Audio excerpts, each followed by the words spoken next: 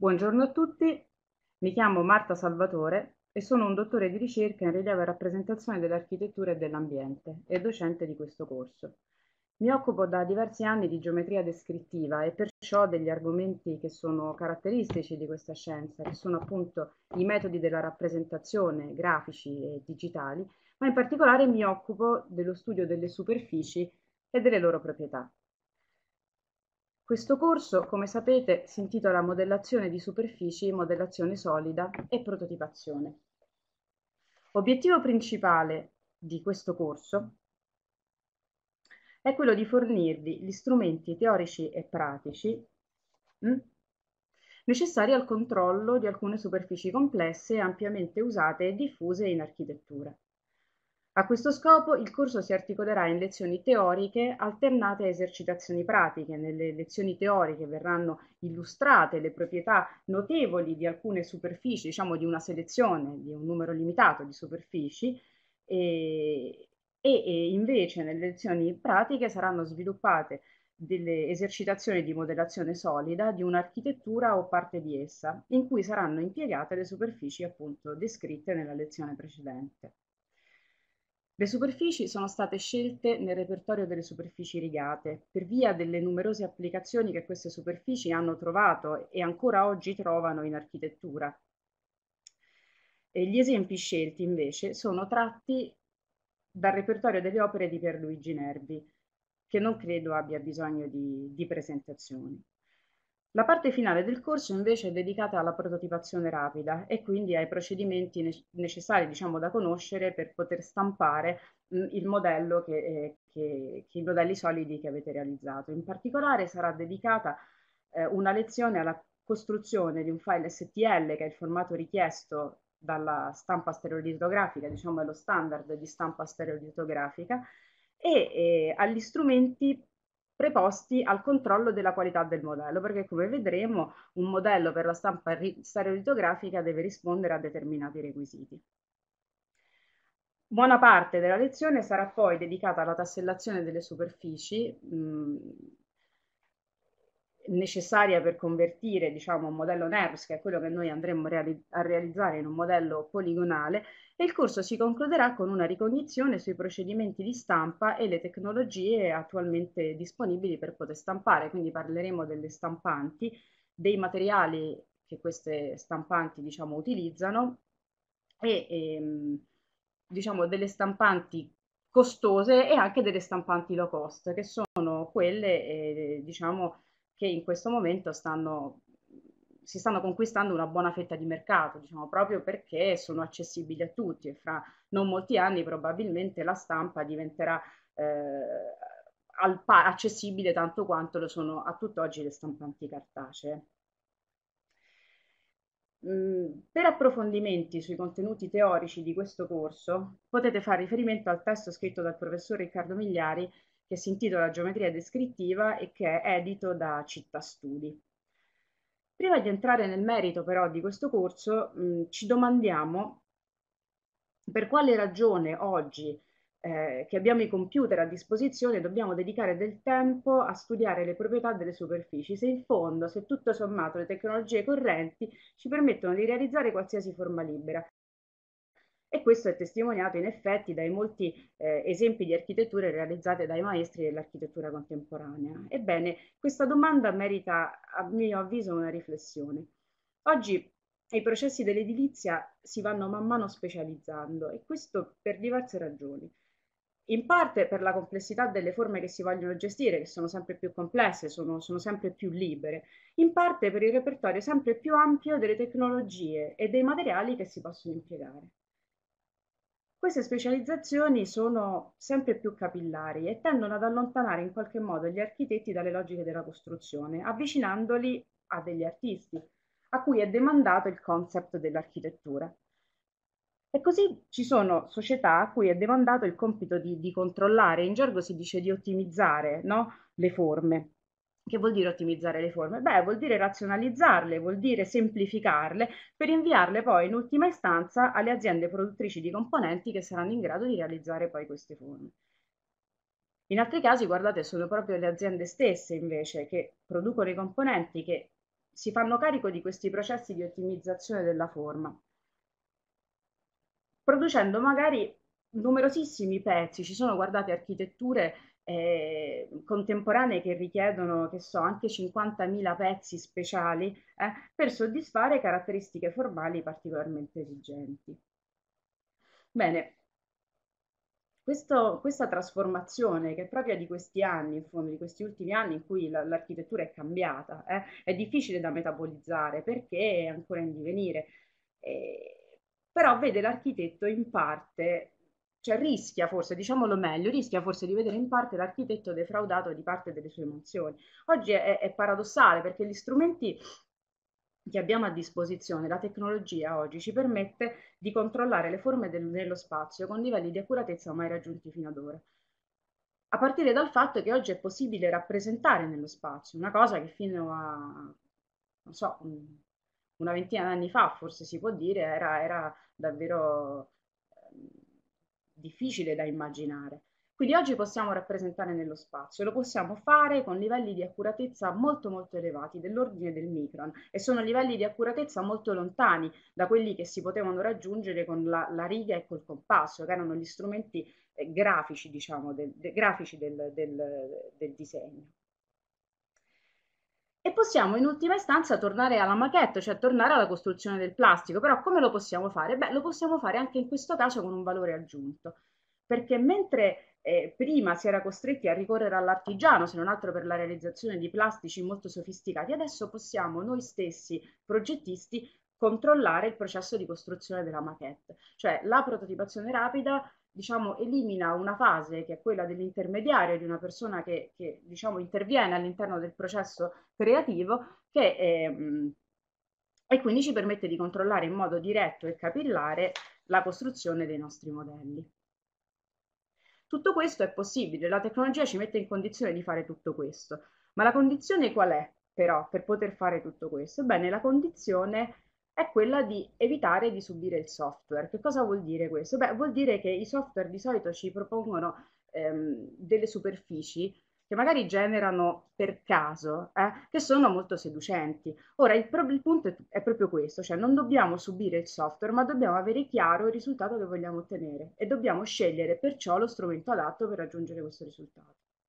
In che cosa si traduce questo? Beh, questo si traduce nella conoscenza della teoria, cioè nella capacità di immaginare le forme dell'architettura e nel saperle controllare e perciò costruire, prima nella testa e poi con i, metodi, con i metodi del disegno, che siano i metodi grafici per intenderci oppure digitali perché parliamo sempre di rappresentazione. Quando noi costruiamo un modello, anche un modello tridimensionale, è una rappresentazione dell'architettura. Quello che conta, come dicevo prima, è evitare di subire lo strumento digitale. Bisogna piuttosto porsi l'obiettivo ambizioso di riuscire a controllare e ottimizzare queste forme complesse, con l'aiuto e il supporto tutto il supporto che la teoria ci può dare. A questo riguardo Pierluigi Nervi è un esempio significativo e non per, questo, no, non per caso diciamo, ho scelto delle opere di Pierluigi Nervi come esercitazioni in questo corso, perché è vero che sono superfici che si controllavano con la riga e col compasso, oggi possiamo sperimentare superfici ben più complesse. È pur vero però che eh, l'ottimizzazione della forma è proprio la condizione di sussistenza di tutti i sistemi costruttivi nerviani e quindi questo è un grande valore, è un, uno, a mio modo di vedere le cose, è un'ottima palestra. Una volta che si controlla la forma e quindi si riesce a progettare, cioè a controllare la forma nello spazio, bisogna saper scegliere con intelligenza il, modo, il metodo più adatto alla sua rappresentazione, cioè alla descrizione della forma. A questo riguardo, la scuola romana di geometria descrittiva che fa capo al professor Riccardo Migliari affianca da diversi anni ai metodi grafici della rappresentazione i metodi, i metodi, digitali e li ritiene assolutamente pari rango e chiama questi metodi digitali rispettivamente metodo della rappresentazione matematica e metodo della rappresentazione numerica. Guardate bene, questi metodi non fanno riferimento a software specifici, o meglio, diversi software possono, eh, diciamo, ehm, essere classificati come software di rappresentazione matematica e software di rappresentazione numerica. La differenza fra questi due metodi è, diciamo, sostanziale, perché il metodo della rappresentazione matematica descrive le forme nello spazio in modo continuo attraverso equazioni. Il metodo della rappresentazione numerica, invece, descrive le forme nello spazio in modo discreto, attraverso gli stati di punti. Qual è il risultato? Il risultato è che nel metodo della rappresentazione matematica io sono in grado di controllare una, la morfologia di un'architettura in modo continuo in tutte le sue parti. Eh? E per questo questo metodo è adatto al controllo morfologico delle superfici e, e al controllo metrico delle superfici. Il metodo della rappresentazione numerica, invece, poiché costruisce le superfici eh, in modo discreto, cioè per punti che gli appartengono, approssima la superficie e quindi è adatto a una descrizione di tipo percettivo della forma. Vorrei fare un esempio pratico per capire di che cosa si sta parlando e vorrei citare eh, i software più diffusi che maggiormente sono in uso nei corsi di, di, laurea in architettura. Per esempio, tutti conoscete 3D Studio Max o Cinema 4D, ebbene questi sono software di modellazione numerica. Che cosa significa questo? Significa che se io voglio costruire una sfera, per esempio, all'interno di 3D Studio Max o di Cinema 4D, che sono equivalenti, eh, la sfera io la vedo come una sfera, ma non si tratta di una sfera. In verità quella, quell'oggetto è un poliedro, cioè è composto da tante facce piane che passano per dei vertici che appartengono alla superficie della sfera. Risultato, se seziono quella sfera con un piano non otterrò certo una circonferenza, ma un, pol un poligono. Andiamo dall'altra parte, software di rappresentazione matematica. I software di rappresentazione matematica, invece, descrivono la forma in modo continuo. Cosa significa questo? Significa che c'è un'equazione che descrive la forma. Si tratta di un'equazione parametrica, quindi una sfera è una sfera a tutti gli effetti e se seziono questa sfera ottengo una circonferenza, come è logico del resto che sia. Fatta questa premessa, mh, sostanziale, soprattutto per, questa premessa è sostanziale soprattutto per farvi capire le ragioni che mi hanno portato a scegliere per un corso di questo tipo un modellatore matematico.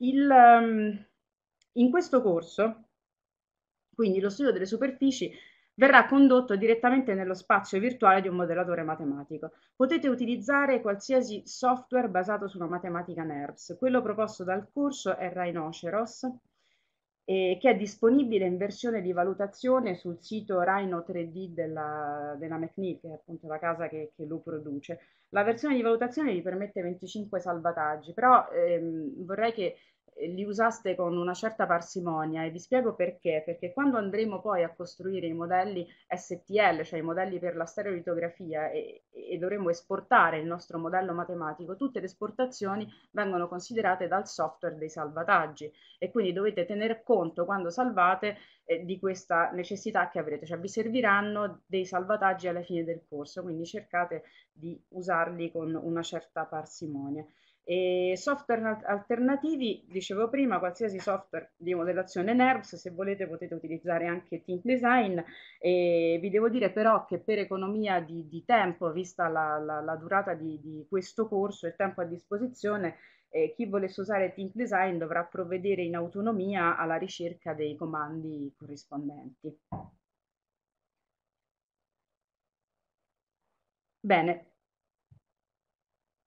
Fatta questa mh, premessa, oh scusate, eh, vi vorrei, vi darò dei riferimenti più chiari nel corso delle lezioni. Ora purtroppo non ho preso nota del titolo esatto del corso, ma per chi volesse approfondire invece ehm, proprio i principi della modellazione matematica, potete fare riferimento a un corso CESMA che si è tenuto l'anno passato, tenuto dal professor Baglioni. Sono disponibili le ehm, lezioni eh, online.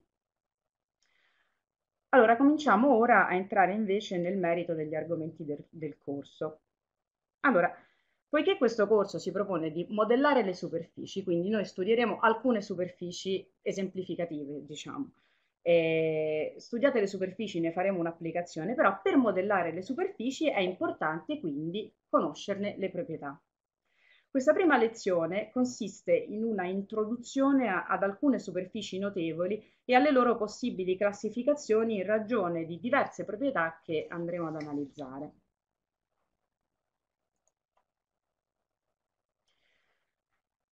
Le superfici possono essere descritte e di conseguenza anche classificate da diversi punti di vista. Quello della geometria sintetica, quello della geometria analitica, per esempio, e quello della geometria differenziale.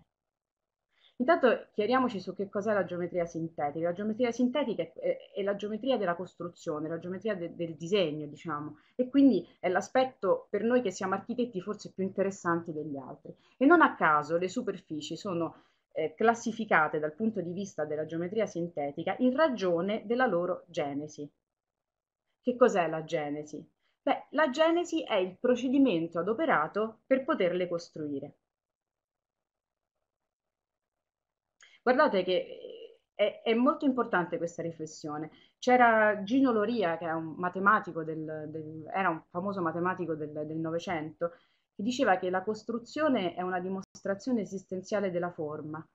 E questo significa che se io una forma la posso costruire, la possibilità di costruirla diventa essa stessa dimostrazione del fatto che la forma esiste, che la forma c'è. Quindi la geometria sintetica descrive le superfici in funzione del procedimento adoperato per poterle costruire. Il punto di vista della geometria analitica è diverso, poiché le superfici vengono classificate rispetto al grado delle equazioni che le descrivono. Ogni superficie, come sapete, può essere definita da un'equazione, questa equazione ha un certo grado e quindi la, geometria, la geometria analitica descrive le superfici attraverso il grado. La geometria differenziale, infine, considera le superfici come classi bidimensionali di punti che soddisfano determinate condizioni locali. Ora, sulla classificazione differenziale delle superfici ne diciamo, ci torneremo dopo, in un secondo momento. Parleremo di proprietà differenziali quando parleremo della curvatura delle superfici, quindi per questo momento preferirei lasciarle da parte, perché verranno approfondite appunto in un secondo momento. Quello che è importante che voi sappiate è che ognuna di queste descrizioni mette in evidenza proprietà geometriche particolari e diverse.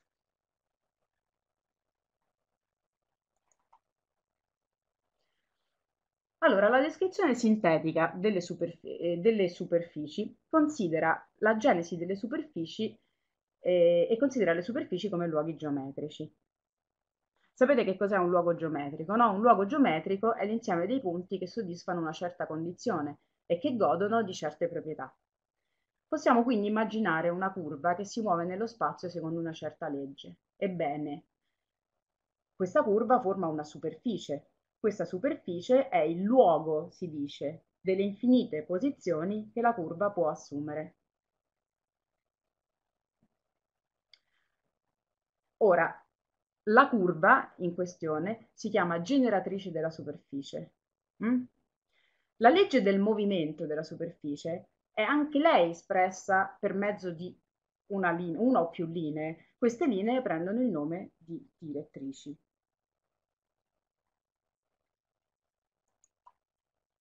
E qui si vede, si vede un po' meglio questo, questo, concetto, perché rispetto alla genesi delle superfici, per il movimento diciamo, di una curva lungo un'altra curva, cioè di una curva generatrice lungo una curva direttrice, eh, vi suggerisco di impadronirvi di questi termini anche perché saranno ricorrenti poi nello studio delle superfici che seguirà questa lezione introduttiva. Quindi la generatrice è la curva che, che genera, diciamo, che dà la forma, la direttrice invece è la curva che mh, diciamo, rende fisica la legge del moto, cioè ci fa vedere qual è la legge del moto nella genesi della superficie. Oh, dal punto di vista allora eh, della geometria sintetica, possiamo descrivere, definire le superfici come superfici di traslazione, superfici di rivoluzione, superfici di rototraslazione. Che cosa significa questo e quali sono le differenze? Beh, le superfici di traslazione forse sono le superfici più semplici da immaginare perché data una curva come questa che vedete qui in figura, che è questa curva rossa, è questa generatrice, beh, la generatrice scorre in questo caso lungo una retta direttrice, non sta scritto da nessuna parte che, che debba essere una retta, insomma, può scorrere anche lungo un'altra curva, ecco. E, ehm, guardate che queste costruzioni, che sono costruzioni geometriche, hanno delle relazioni molto strette con la costruzione fisica di queste superfici. Immaginate per esempio all'uso di un modano o di una dima, ebbene di solito le dime venivano fatte scorrere lungo una direzione, no? Per costruire, non so, anche per lavorare gli stucchi o cose di questo tipo. Quindi il senso della costruzione nel, nello spazio virtuale che il computer ci mette a disposizione ha delle analogie strettissime poi con il senso invece della costruzione nello spazio reale. Quindi superfici di traslazione, superfici di rivoluzione. Ecco, in questo caso la rivoluzione è un moto, diciamo, rotatorio che la curva generatrice compie attorno a un asse che si chiama appunto asse di rivoluzione. La generatrice è sempre la stessa curva che vedete in rosso, la direttrice nel caso delle superfici di rivoluzione è sempre una circonferenza. Ultimo caso, quello delle superfici di rototraslazione. In questo caso il movimento è composto, quindi diciamo la curva generatrice mh, compie un movimento di traslazione lungo una curva direttrice mh, e eh, un movimento di rivoluzione intorno a un asse. Qui lo vedete, in questo caso la curva direttrice le curve direttrici poi sono più di una, sono queste due curve bianche che vedete qui, in questo caso sono due eliche cilindriche. Vedete, queste sono le direttrici. Questa rossa è sempre la curva generatrice e questo è l'asse di rivoluzione della, della superficie. Quindi, ripetiamo, superfici di traslazione, superfici di rivoluzione e superfici di rototraslazione.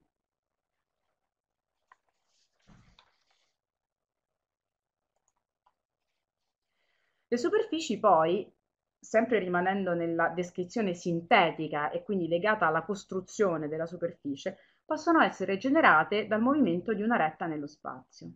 Guardate, questa è una caratteristica comune, eh, notevole delle superfici. Questa famiglia di superfici, eh, che si chiamano superfici rigate, è una famiglia notevole. Le superfici rigate hanno avuto in architettura fin dai tempi della lavorazione della pietra eh, grandissime applicazioni. Perché? Perché la proprietà notevole di queste superfici è che è possibile stendere sulla loro, eh, diciamo, su di loro una, una riga, una linea retta.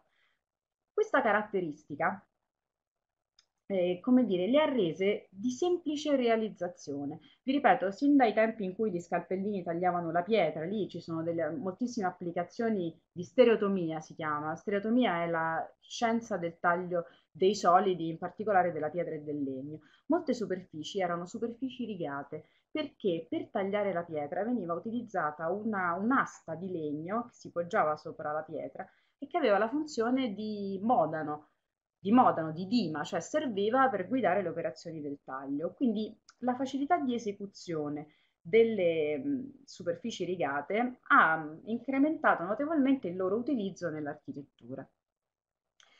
Ma non soltanto però nell'architettura della pietra, guardate, anche nell'architettura del cemento armato. E non è un caso, infatti, che Pierluigi Nervi faccia ampio uso di superfici rigate nella sua architettura. Si può dire che le superfici rigate siano proprio caratteristiche delle architetture di Pierluigi Nervi. E perché questo? E beh, perché il cemento gettato in opera richiede la costruzione di una cassaforma. E la cassaforma di una superficie rigata è facile da costruire perché si possono disporre gli assi di legno che andranno a comporre la cassaforma lungo le generatrici della rigata. E quindi questo, come dire, produce un'economia di lavorazione e garantisce una certa, come dire, accuratezza nell'esecuzione della superficie.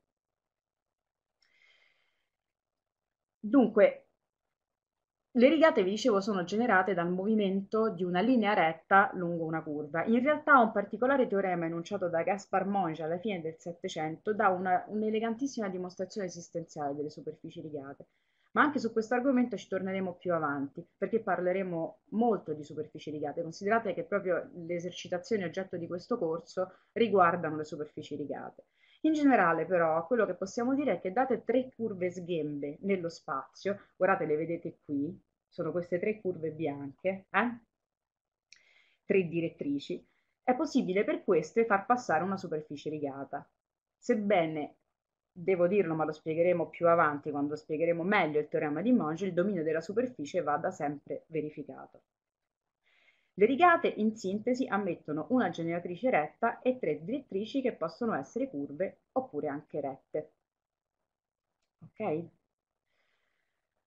Una particolare famiglia di superfici generate dal movimento di una retta è la famiglia delle sviluppabili. Queste superfici hanno la caratteristica di essere anche rigate, però hanno un'altra proprietà notevole e questa proprietà è la, quella di poter essere srotolate e immaginate su un piano. Come si costruiscono queste superfici? Beh, queste superfici si costruiscono costruendo le tangenti eh, a una curva. Immaginate una curva nello spazio, immaginate di costruire tante rette tangenti a questa curva, ebbene queste rette descrivono una superficie che si chiama superficie sviluppabile e che si chiama sviluppabile proprio perché può essere sviluppata, e cioè srotolata nel piano. La curva, diciamo, direttrice prende il nome di spigolo di regresso.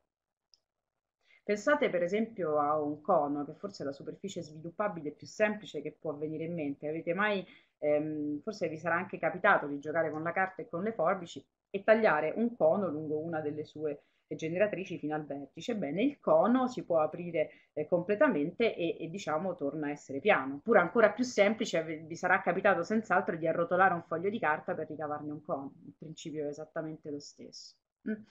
E questa proprietà di poter essere sviluppate, perciò srotolate nel piano, ne ha fatto delle superfici privilegiate, anche le, rigate, anche le sviluppabili, ancora più delle rigate, erano superfici privilegiate.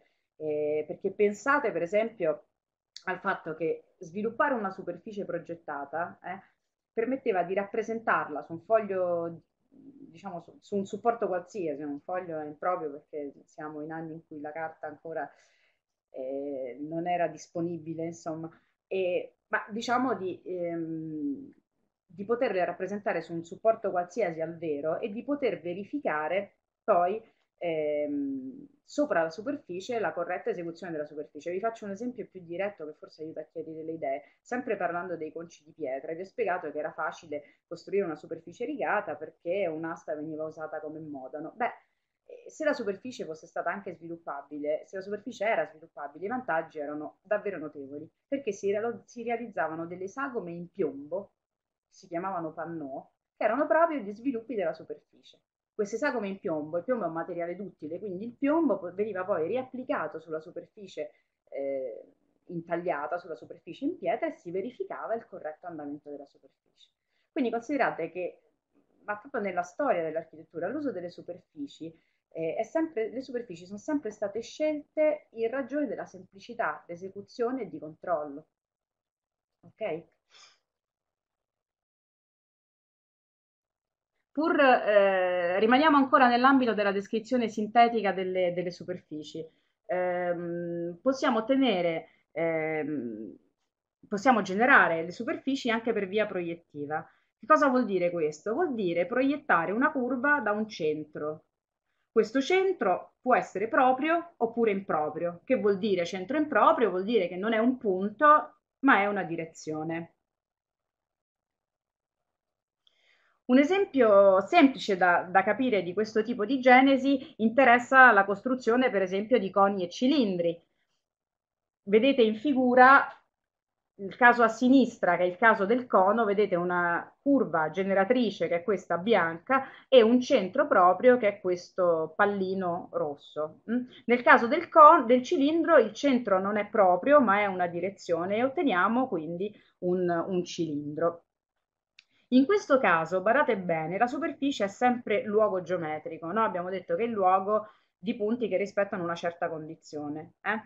Quindi di, di, di, enti geometrici che rispettano una certa condizione. In questo caso la superficie è il luogo geometrico delle rette che proiettano i punti di una curva in una relazione di tipo proiettivo.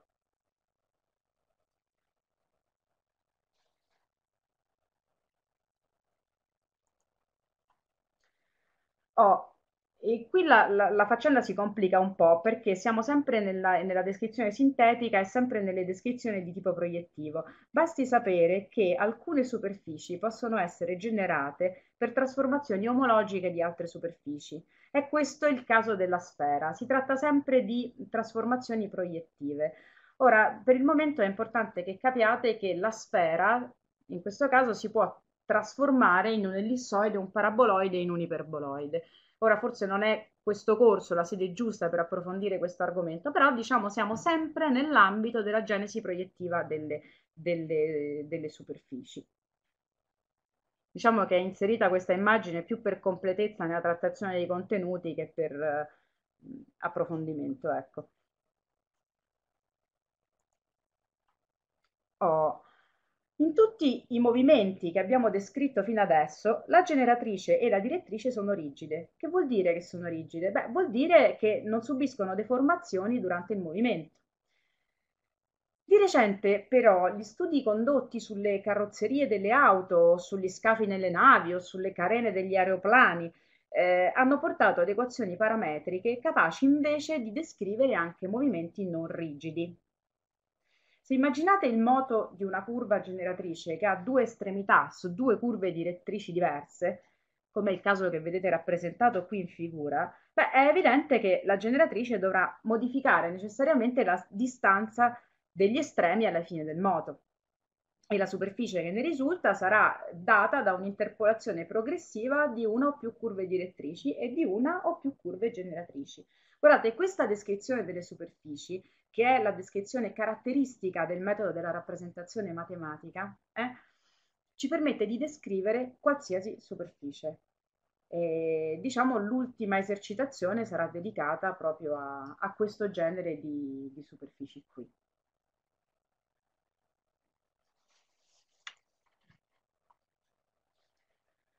Oh, con le superfici di interpolazione concludiamo diciamo, la descrizione sintetica delle superfici. Vi ricordo, la descrizione sintetica è quella che considera le superfici in, in, in relazione alla loro costruzione geometrica. Ok? Abbiamo detto in apertura che, però che noi possiamo descrivere le superfici per via sintetica, per via analitica e per via differenziale. Vediamo la descrizione analitica delle superfici. Vi ho anticipato che ehm, dal punto di vista analitico eh, le superfici vengono descritte in funzione del loro grado. E che cos'è il grado di una superficie? Beh, il grado di una superficie è il grado dell'equazione che la descrive. Il grado però si può mh, descrivere anche dal punto di vista sintetico. Ora questa sembra una, una, una considerazione che complica le cose, in verità le semplifica molto lo posso visualizzare il grado, cioè posso sapere che, che cos'è dal punto di vista fisico il grado della superficie. Ebbene sì, lo posso sapere perché il grado di una superficie, che in, in, geometria si chiama ordine, ma è sinonimo, quindi va bene sia che diciate ordine o grado, è il numero dei, massimo dei punti che questa superficie ha in comune con una retta che la attraversa. E lo vedete qua in figura. In questa figura è rappresentato un paraboloide iperbolico che è una superficie di secondo grado e vedete che eh, è eh, intersecata da una retta in due punti. Ora, una riflessione mh, importante da fare. Quando parliamo di superfici, eh, abbiamo diciamo, due tipi di superfici. Delle superfici che racchiudono una certa porzione di spazio, quelle che non, che non si richiudono, diciamo, che non racchiudono una certa porzione di spazio, devono sempre essere considerate infinitamente estese, sempre. Noi siamo abituati a lavorare con porzioni di superfici, ma lo facciamo perché siamo architetti e perché quindi usiamo in architettura pezzi di superfici, porzioni di superfici. Ma le superfici vanno sempre, sempre considerate infinitamente estese. Allora questo schema appare più chiaro. Allora capite bene come il numero massimo che una retta in comune con una superficie lo incontra in un numero finito di volte. Ebbene, quel numero è, è il grado della superficie. Considerazione ulteriore. Può accadere però che la, questa retta incontri la superficie in un numero infinito di volte. Questa differenza mh, hm, nelle intersezioni eh, identifica due famiglie di superfici. Allora, le superfici che, interse- che incontrano eh, la retta in un numero finito di punti si chiamano superfici algebriche. Le superfici che incontrano la superficie, le, scusate, le superfici che incontrano la retta in un numero infinito di punti si chiamano, eh, le chiamiamo ricorsive. Guardate, non c'è un termine, mh, diciamo, codificato dalla geometria descrittiva per, eh, per indicare questo tipo di superfici. Però ricorsivo è un termine mh, che spiega bene, a mio avviso, il, il procedimento, come vedremo nella slide che segue. Oh, qui vedete un elicoide, una vita a filetto rettangolare per essere precisi, vedete che un elicoide incontra una retta nello spazio in un numero infinito di volte, sempre immaginando le superfici come infinitamente estese. E quindi è una superficie ricorsiva. Guardate, qualcuno chiama queste superfici superfici trascendenti e va bene lo stesso. È un termine questo tratto, ehm, diciamo, preso in prestito da eh, Gino Loria, che matematico a cui facevo riferimento prima, che però lo adopera nel caso delle curve, quindi non ci sono, almeno per quel che ne so io, eh, riferimenti diretti alle superfici, ma va bene lo stesso. La cosa importante è capire bene questa differenza. Vedete a sinistra un elicoide, quindi una superficie trascendente, a destra due superfici algebriche. Guardate, c'è una sfera, una sfera a grado 2 e vedete che la retta incontra la sfera in due punti. E vedete un toro, il toro ha grado 4 e infatti il massimo di punti che una retta può avere in comune con il toro è 4.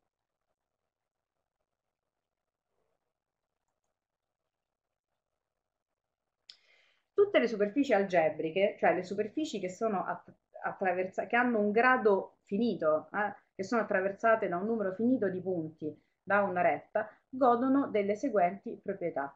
Allora, due superfici algebriche si intersecano secondo una curva il cui ordine è dato, cioè il cui grado di questa curva è dato dal prodotto degli ordini delle due superfici che la generano.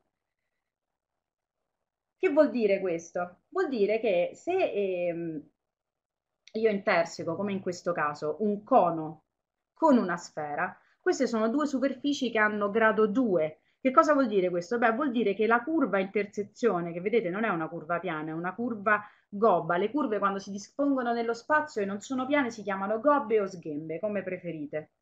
Questa curva gobba o sghemba, come preferite, ha grado 4. Eh, questo è un caso particolare per cui la curva diciamo, risultante si può spezzare in due curve. Queste sono due circonferenze che hanno grado 2 e, 2, e, e quindi 2 volte 2 poi da 4, ma insomma senza entrare in questi dettagli, la cosa importante è che capiate che l'intersezione è data da questo prodotto. E la conseguenza di questo è notevole. È notevole perché? Perché le sezioni piane, quindi se io taglio una, una superficie algebrica con un piano, eh, ottengo una curva che ha lo stesso ordine della superficie. Questa proprietà è una proprietà notevole perché se voi pensate alle superfici di secondo grado, per esempio, no? Bene, queste superfici tagliate da un piano restituiscono una curva di secondo grado.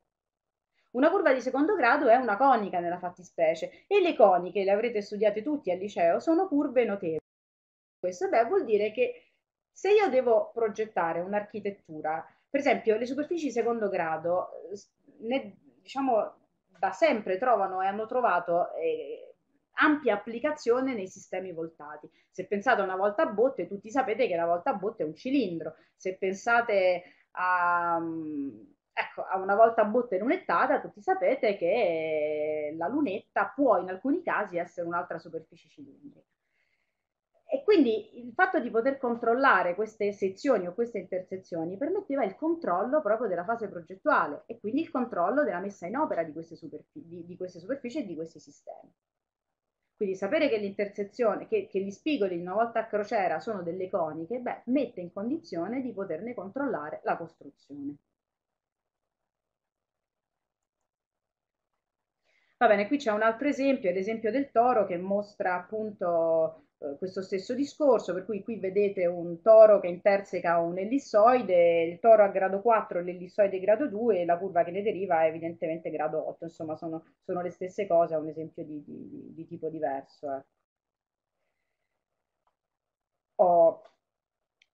Detto questo, Dunque, la descrizione analitica abbiamo detto che prende in considerazione il grado. Allora, dovete sapere che le superfici che hanno grado 2 si chiamano superfici quadriche. Le superfici quadriche sono un numero finito di superfici sono quelle che vedete qui. Sono la sfera, il cono, il cilindro, l'ellissoide, il paraboloide e l'iperboloide. Se sezioniamo con un piano queste superfici, otteniamo una curva di secondo grado, e cioè una conica.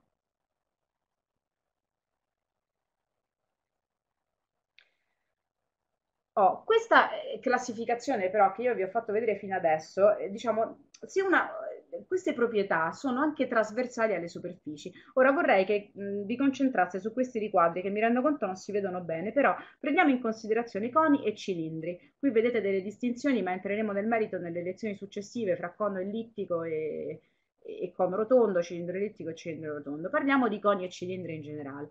Coni e cilindri sono quadriche e sono rigate e lo stesso vale per l'iperboloide a una falda e per il paraboloide iperbolico. Queste quadriche che vedete sotto e che prendono tutte l'accezione di rotondo eh, sono anche superfici di rivoluzione. Che vuol dire questo? Che sono generate dalla rivoluzione di una curva intorno a un asse, come abbiamo visto prima. Quindi queste caratteristiche, queste genesi si possono, diciamo, sovrapporre. Prendete per esempio i coni, i coni sono superfici rigate, sono superfici quadriche e sono, possono anche essere generate per rivoluzione di una linea retta intorno a un asse. Questo per farvi capire che queste proprietà sono trasversali. E, ehm, di solito non è proprio generalizzabile, però di solito l'aumentare del grado della superficie aumenta, ne aumenta anche la complessità e a questo scopo vi faccio vedere nelle due immagini che seguono superfici di grado superiore al secondo.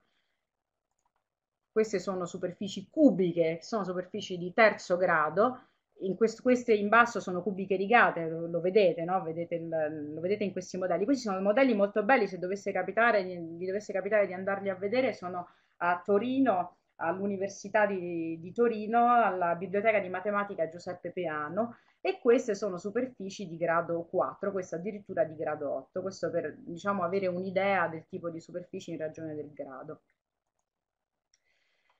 Oh, la descrizione analitica delle superfici e delle curve che ehm, diciamo necessarie al software per poterle rappresentare, però non prende diciamo equazioni algebriche come riferimento, ma le equazioni sono parametriche. E, ehm, noi abbiamo a disposizione all'interno del software gli strumenti del disegno per poter costruire, quindi ci, diciamo, utilizzeremo sempre delle costruzioni geometriche, però è bene che voi sappiate che la descrizione, l'equazione a cui fa riferimento una curva, una superficie, è un'equazione di tipo parametrico, ok? E dov'è che torna utile questo? Beh, questo può tornare molto utile per la rappresentazione di alcune entità geometriche che sono difficili o forse anche impossibili da rappresentare. Vi faccio un esempio, eh, la, lo lancio lì, eh, ma insomma è piuttosto significativo, che è quello della catenaria. La catenaria, non so se conoscete questa curva, è la curva che si ottiene appendendo due lembi di uno spago, se tenete sospese le mani con due lembi di uno spago, bene, la curva si dispone secondo una, una diciamo, la curva che ottenete, eh, la corda si dispone secondo una catenaria. La curva è molto molto simile alla parabola, però non è una parabola. Allora, un'equazione parametrica vi, vi permette di costruire una curva che approssima in modo soddisfacente la, la, catenaria. Insomma, è uno dei diversi esempi. È bene che sappiate che c'è questa possibilità, cioè di generare le forme in ambiente digitale attraverso l'inserimento di un'equazione parametrica. Ho queste immagini che vedete, io ho chiamato questa slide superfici particolarmente usate in architettura. Eh, perché sono particolarmente usate in architettura? Perché vedete nella striscia superiore vedete superficie algebriche di, di grado 2, che sono queste superfici quadriche, come vi ho, come vi ho detto. E sono usate in architettura proprio perché, come vi dicevo prima, sono superfici che si potevano controllare con la riga e col compasso, sono superfici mh, non tutte, ma insomma, la maggior, diciamo, coni e cilindri, sfere, coni e cilindri, se non altro forse anche ellissoidi, si potevano controllare con la riga e col compasso. Vedete poi la, diciamo, la, la, la striscia successiva, questa, questa intermedia, eh, che riguarda invece le superfici ricorsive. Questi in preciso sono, sono elicoidi e ehm, sono ricorrenti, anche qui le applicazioni di architettura sono tantissime, mentre le quadriche ricorrono sempre nell'architettura dei sistemi voltati, gli elicoidi ricorrono sempre nelle, nelle scale, per esempio. Eh, soprattutto gli elicoidi rigati, che sono questi due che vedete cerchiati in rosso, no? Ma anche questi altri tipi di elicoidi, perché le coperture delle scale elicoidali venivano fatte, conoscete tutti la vite di Saint-Gilles, che è questo, questa superficie qui, eh, fino ad arrivare per esempio alle colonne torse, come il baldacchino di San Pietro, per esempio. No? Qui vedete un elicoide sviluppabile che forse ha meno, meno ricadute diciamo, in, in, architettura, però diciamo è il toro. Il toro, per chi ha studiato gli ordini, beh, insomma, la base attica ne, ne, adopera due di tori, per cui insomma sono superfici che ricorrono diciamo, in, in architettura. Ora, fra queste superfici, quelle che avevo cerchiato prima in realtà erano le superfici che andremo ad approfondire in questo corso, che sono cilindri e coni quadrici, che sono eh, il paraboloide iperbolico, gli elicoidi rigati. Faremo poi una lezione sulla curvatura. Vorrei approfittare di questa prima lezione per mostrarvi anche le, diciamo, quelle, quelle architetture o quei modelli che saranno poi oggetto di sperimentazione nelle esercitazioni. Allora, la lezione 2 sarà dedicata a coni e cilindri quadrici, che eh, vi ho detto sono superfici quadriche appunto, sono anche superfici rigate. Guardate, sono tutte le prime tre esercitazioni riguardano superfici rigate.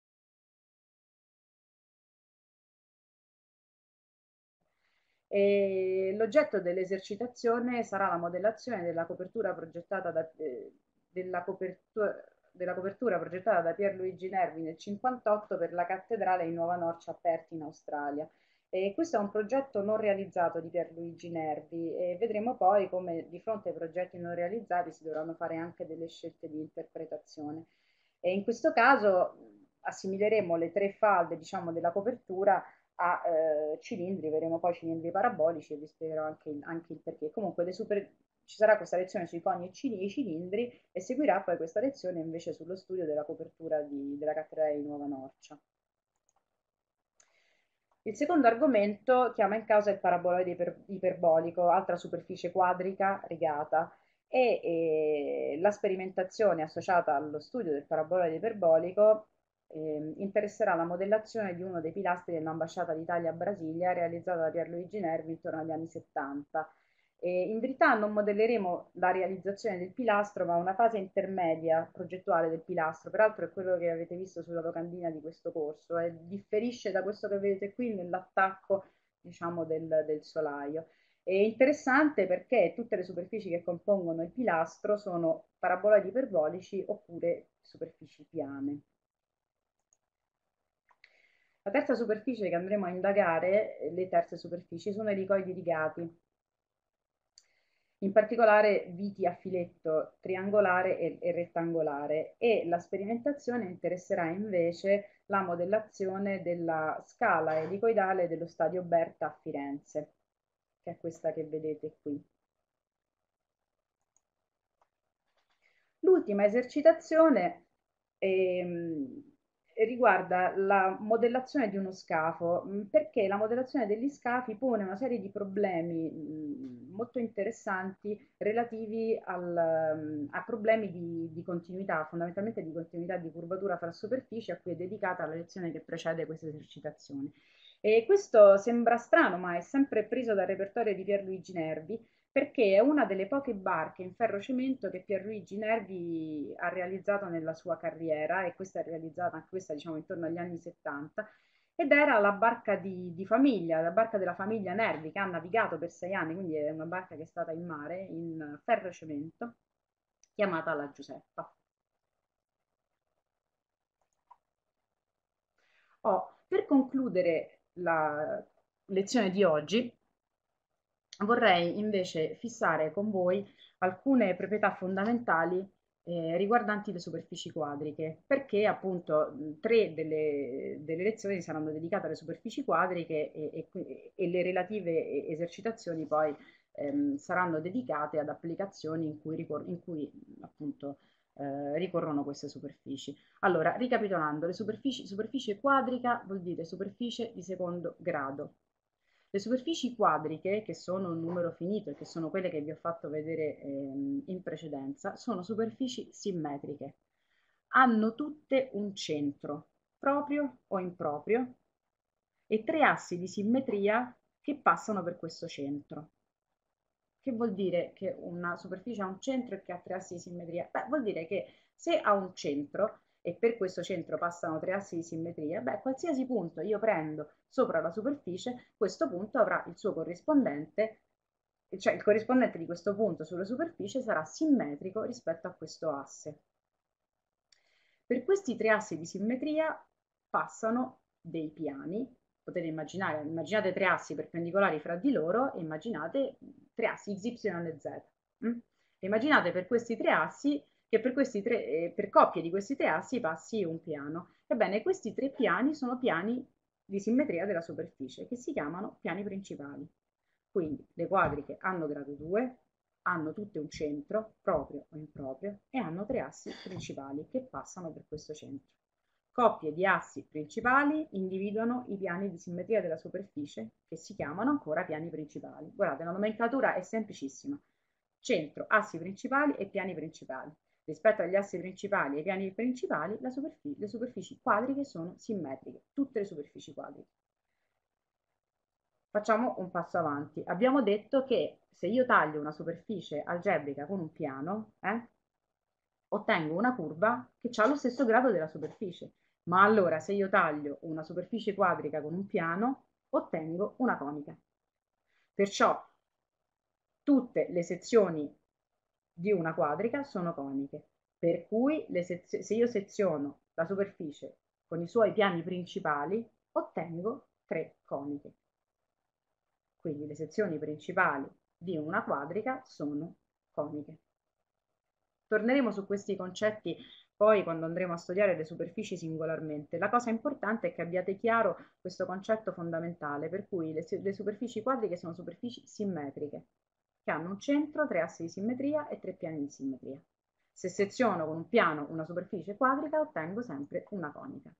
Qui vedete mh, in questi schemi quello che vi dicevo prima. Allora, le superfici quadriche hanno un centro che può essere proprio e c'è un punto materiale, un punto fisico, oggettivo, oppure un centro improprio. Che vuol dire questo? Vuol dire che quel centro è, è partito per una dimensione non meglio precisata, è all'infinito, è una direzione, diciamolo meglio. Però intuitivamente aiuta forse a capire che questo centro è, è partito per una direzione. Bene. E in questo quadro sinottico vedete invece gli assi principali. Naturalmente le quadriche che hanno un centro eh, hanno tutti e tre gli assi principali, le quadriche che hanno un centro proprio, le quadriche che hanno un centro improprio hanno gli assi, una coppia di assi principali, eh, diciamo che è una giacitura, non è, più, non, sono, non è più una coppia diretta, ma insomma su questo ci torneremo e torneremo, ci torneremo in dettaglio, diciamo superficie per superficie. Per adesso la cosa importante appunto che teniate a mente è questa. Qui vedete, una, mm, qui vedete un asse solo e questo ve lo anticipo è perché, guardate, le quadriche possono essere ellittiche oppure rotonde. Che cosa vuol dire? Beh, vuol dire che se io seziono la quadrica con, con un piano perpendicolare all'asse principale interno alla superficie ottengo una conica, l'abbiamo visto prima. Questa conica può essere una circonferenza oppure un'ellisse, nel caso in cui è una circonferenza la quadrica è rotonda, nel caso in cui è un'ellisse la quadrica è ellittica. E però anche su questo torneremo in, in, in dettaglio, diciamo andando a studiare le, le, le superfici che, che ho selezionato per questo corso. Un'ultima riflessione eh, riguarda sempre la genesi, guardate come un altro metodo, eh, tra l'altro molto utilizzato all'interno dei modellatori matematici per generare le superfici, è generare le superfici ellittiche eh, per dilatazione delle superfici rotonde. Bene, io vi ringrazio, questa è l'ultima immagine della lezione di oggi. Ehm, la prossima lezione si terrà mercoledì prossimo